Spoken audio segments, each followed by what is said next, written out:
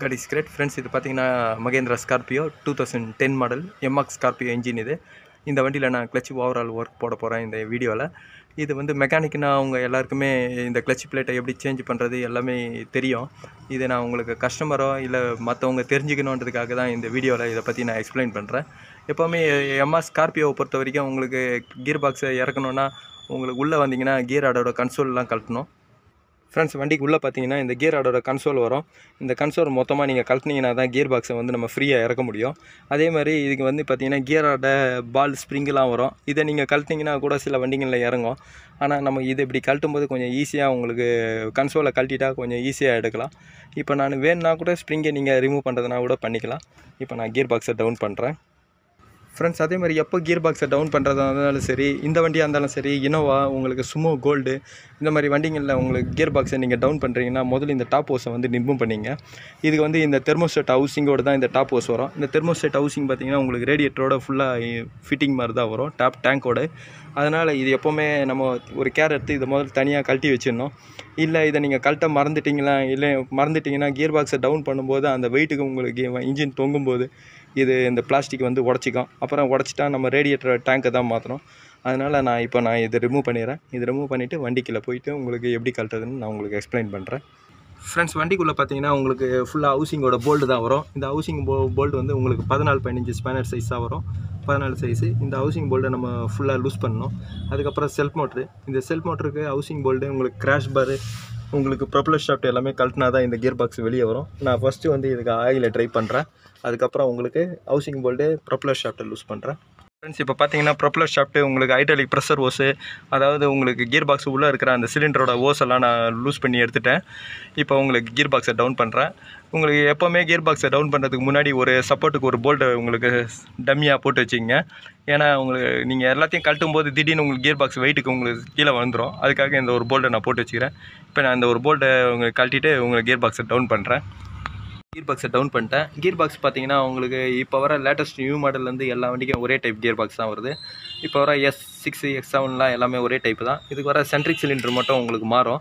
இந்த கியர் பாக்ஸோட ஹவுசிங்கில் பார்த்தீங்கன்னா இந்த சென்ட்ரிக் சிலிண்டரில் மூணு ஹோல்ஸ் இருக்கும். ஆனால் லேட்டஸ்ட் வண்டிக்கு பார்த்தீங்கன்னா ரெண்டு ஹோல்ஸ் இருக்கிற சென்ட்ரிக் சிலிண்டர் தான் வருது. கான்சென்ட்ரிக் சிலிண்டர் தான்.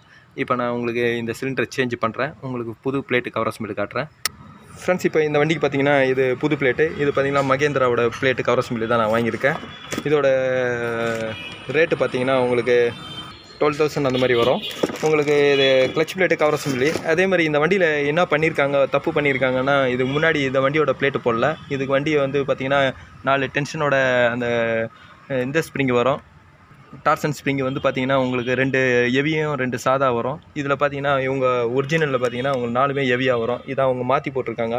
இதனால் இந்த ஸ்ப்ரிங்கு கட் ஆகி உங்களுக்கு அதுவே நாய்ஸ் வந்திருக்கு. ஆனால் கவர் அசம்பிள் எல்லாமே உங்களுக்கு சேம் தான். இப்போ நான் உங்களுக்கு இந்த பிளேட்டு கவர் அசம்பிளை நான் வந்து ஃபிட் பண்ணுறேன் அதே மாதிரி இது பாருங்கள் இந்த சென்ட்ரிக் சிலிண்டரும் ஒரிஜினலாக போடுங்க. எப்போவுமே இது ஒரிஜினலாக போடும்போது உங்களுக்கு எந்த ஒரு பிரச்சனையும் வராது. லோக்கல் போட்டிங்கன்னா கொஞ்ச நாள் கழிச்சு திருப்பியும் போய்ட்டு கம்ப்ளைண்ட் நிறைய வருது. இப்போ நான் இதை ஒரிஜினலாக இருக்குது இதை நான் ஃபிட் பண்ணுறேன் அதே மாதிரி இந்த வண்டியாக இருந்தாலும் சரி ஜைலோவாக இருந்தாலும் சரி எந்த வண்டியாக இருந்தாலும் உங்களுக்கு ஒரிஜினல் பிளேட்டு கவர் அசம்பிள் அந்த மாதிரியா ஒரிஜினலாக ஃபிட் பண்ணுங்கள் ஏன்னா இது ஒரிஜினல்லே கிட்டு வருது. இப்போ இதோட ரேட்டு பாருங்கள் உங்களுக்கு வருது. நான் ஃபஸ்ட்டு உங்களுக்கு தப்பாக சொல்லிட்டேன். லெவன் தௌசண்ட் செவன் ஹண்ட்ரட் வந்தது. அவங்க கஸ்டமர்ஸ் லெவன் தௌசண்ட்க்கு வாங்கிட்டு வந்தாங்க. இப்போ நான் இது எல்லாமே நான் ஃபிட் பண்ணுறேன் இப்போ கிளச் பிளேட் டிஸ்கை நான் ஃபிட் பண்ணிட்டேன். எப்போவுமே இதை வந்து பார்த்தீங்கன்னா உங்களுக்கு ட்ரையாங்கிளாக தான் ஃபிட் பண்ணணும் ஏன்னா உங்களுக்கு ட்ரையாங்கிள் ஏன் சொல்கிறேன்னா உங்களுக்கு இங்கே தான் அதோட டென்ஷன் ஸ்ப்ரிங் இருக்குது மூணு ஸ்ப்ரிங்கு அதனால் ட்ரையாங்கிளாக பண்ணும்போது தான் உங்களுக்கு அது கரெக்டாக ஈவனாக படிக்கும் இப்போ நான் உங்களுக்கு இதை டைட் பண்ணுறேன்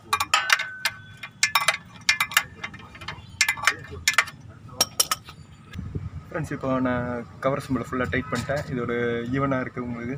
இப்போ நான் கியர் பாக்ஸை நான் ஃபிட் பண்ணுறேன் கியர் பாக்ஸில் பார்த்தீங்கன்னா உங்களுக்கு புது சிலிண்டர் நான் ஃபிட் பண்ணிவிட்டேன் இப்போ நான் உங்களுக்கு கியர் பாக்ஸில் லோட் பண்ணுறேன் ஃப்ரெண்ட்ஸ் இப்போ இதை பார்த்தீங்கன்னா நான் கீர் ஆடு அசம்பிளி தான் வெளியே எடுக்கிறேன். ஏன்னா கீர் பாக்ஸ் லோட் பண்ணும்போது உங்களுக்கு அந்த கான்சென்ட்ரிக் சிலிண்டரோட ஏர் நிப்பல் வந்து இடிக்கும். அதுக்காக நீங்கள் இந்த கியர் லிவர் செலக்டரை நீங்கள் கழட்டினா தான் இது வெளியே வரும். இது கழட்டினீங்கன்னா உங்களுக்கு டென்ஷன் ரெண்டு சைடு கியர் லிவரை டென்ஷன் பண்ணுறதுக்கு ரெண்டு சைடு ஸ்ப்ரிங்கு வரும். ஸ்ப்ரிங்கு ப்ளஞ்சர் வரும். இது ரெண்டுத்தையும் கழட்டினா தான் நம்ம உங்களுக்கு கியர் ராடு வந்து வெளியே வரும். இதில் இன்னொன்று பார்த்தீங்கன்னா நியூட்ரல் பொசிஷன் சுவிட்சு வரும். சில வண்டிகளில் பார்த்தீங்கன்னா இந்த சுவிட்சு சில நேரங்களில் உடஞ்சிச்சுன்னா உங்களுக்கு வண்டி நியூட்ரல் இருந்தால் தான் இந்த சுவிட்சு ஸ்டார்ட் ஆகும். அதுக்காக தான் இது கொடுத்துருக்காங்க. இப்போ நான் இதை உங்களுக்கு ரிமூவ் பண்ணுறேன் ஃப்ரெண்ட்ஸ் இப்போ பார்த்தீங்கன்னா நான் கீர் பாக்ஸை ஏற்றிட்டேன் எப்போவுமே இந்த வண்டியில் நான் உங்கள் நான் எல்லாருக்கும் ஒன்று சொல்கிறேன் ஏன்னா எப்போவுமே கீர் பாக்ஸ் ஏற்றினோடனே ஃபஸ்ட்டு வந்து நீங்கள் ஹவுசிங் போல்ட்டை ஒரு ஆப்போசிட் ஆப்போசிட் போல்ட்டை டைட் பண்ணிவிட்டு உங்களுக்கு அந்த கான்சென்ட்ரிக் சிலிண்டர் வந்து ஏர் எடுத்து ப்ளீட் பண்ணி கரெக்டாக கிளச்சு ஆப்ரேட் ஆகுதான்னு பார்த்துக்குங்க. ஏன்னா கிளச்சு கரெக்டாக ஆப்ரேட் ஆயிடுச்சுன்னா கன்ஃபார்ம் ஆனதுக்கப்புறம் நீங்கள் மற்ற பார்ட்ஸுங்க எல்லாமே ஃபிட் பண்ணுங்கள் ஏன்னா அது கிளச்சு வந்து உங்களுக்கு ஹைட்ராலிக் ப்ரெஷர் சிலிண்டர் கன்ஃபார்மாக இல்லை பெடல் உங்களுக்கு நிற்கலை பெடல் ஃப்ரீ ஆகுது உள்ளே போயிடுச்சுன்னா நம்ம என்னென்னு திருப்பி பிரித்து கழட்டி பார்க்கறது கூட ஈஸியாக இருக்கும். ஏன்னா எல்லாத்தையும் ஏற்றி ஃபிட் பண்ணிவிட்டு கிளாஸ் பார் ஜாயிண்ட் எல்லாம் ஃபிட் பண்ணிவிட்டு அதுக்கப்புறம் நீங்கள் அந்த சிலிண்டரில் ஏதாவது பிரச்சனை ஏன்னா ஃபால்ட் ஆகி போச்சுன்னா திருப்பி நீங்கள் எல்லாத்தையும் ரிமூவ் பண்ணணும். அதுக்கு தான் நான் சொல்கிறேன் இப்போ நான் அந்த கிளச்சோட சிலிண்டரில் ஏர் ப்ளீட் பண்ணிவிட்டு உங்களுக்கு கரெக்டாக இருக்குது கிளச்சோட ஆக்ஷனு இப்போ நான் உங்களுக்கு கிராஸ் பார் உங்களுக்கு ப்ரொப்ளர் ஷாஃப்ட் எல்லாமே ஃபிட் பண்ணுறேன் இப்போ நான் கிளச்சை ரெடி பண்ணிட்டேன். இப்போ கிளச்சு பக்காவாக இருக்குது எப்போவுமே இந்த வண்டி கிளச்சே வந்து உங்களுக்கு சென்ட்ரிக்கோட சிலிண்டர் வந்து உங்களுக்கு கிளச் பிளேட் கவர் சிம்பிள் போனால் தான் இந்த சென்ட்ரிக் சிலிண்டர் போவோம் அது ரொம்ப ஹார்ட் ஆயிடுச்சுன்னா இந்த சிலிண்டர் சீக்கிரமாக போகும். அப்போ சேஞ்ச் பண்ணும்போது மூணுமே கிட்ட அந்த மாதிரி மகேந்திராவோட கிட்ட போட்டிங்கன்னா உங்களுக்கு எந்த ஒரு பிரச்சனையும் வராது. ஃப்ரெண்ட்ஸ் இந்த மாதிரி வீடியோ பிடிச்சிச்சுன்னா லைக் பண்ணுங்கள் ஷேர் பண்ணுங்கள் தேங்க்யூ ஃப்ரெண்ட்ஸ்